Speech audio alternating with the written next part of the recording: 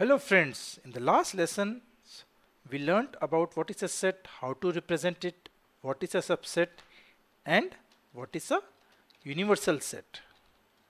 In this lesson we are going to learn about the Venn diagram and the union operation of two sets. Since we have been using a rectangle, circle and ovals to understand the relation between different sets, these diagrams are called Venn diagrams. It is the best way to visualize the relationship between the sets. So this set of real numbers R which has a set of whole numbers W is represented like this. A big rectangle representing universal set R containing a circle W representing the set of whole numbers.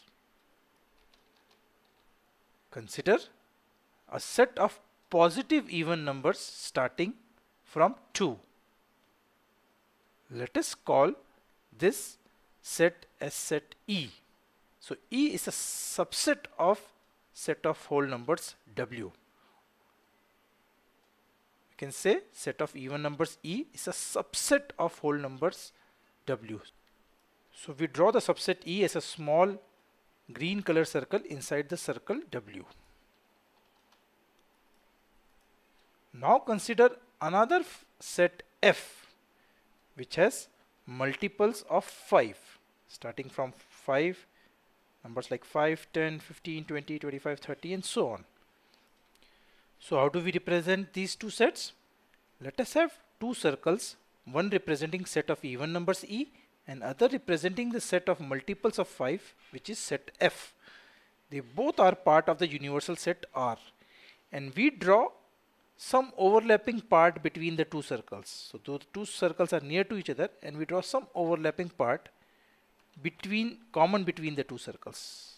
Because few numbers like 10, 20, 30 are even numbers as well as multiples of 5. So they represent the overlapping area. To reiterate, we express it like this. Two circles intersect each other. The common part of the circle contains the elements which are even numbers and also the multiple of 5. This includes number like 10, 20, 30 and so on. And the leftover part of the left circle represent the rest of the even numbers but not multiples of 5. This includes number like 2, 4, 6, 8, 12, 14 and so on. And the leftover part of the right circle are the numbers which are multiples of 5 but not even numbers. This includes numbers like 5, 15, 25 and so on. Now this entire diagram in dark red represent a set which contains whole numbers which are either even number or divisible by 5 or both. And that set is called union of set E and set F. We write it like this set E union F. It means all elements of E union F either belongs to E or belongs to F or both. Union F is equal to set of elements X such that X belongs to E or X belongs to F. Let us understand this with an example. Say set A has elements 1, 2, 3, 4 and 5 and set B has 3, 6, 9, 12 and 15. So A union B would have elements of both the sets that is 1, 2, 3, 4, 5, 3, 6, 9, 12, 15. Look 3 is common in both the sets so when we write A union B we will write it only once because A union B is also a set and a set should have all the elements as unique. So the final answer A union B will be equal to 1, 2, 3, 4, 5, 6, 9, 12 and 15.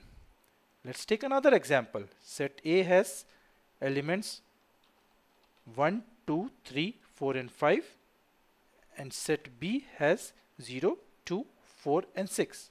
So A union B would have elements of both the sets. So 0, 1, 2, 3, 4, 5 and 6.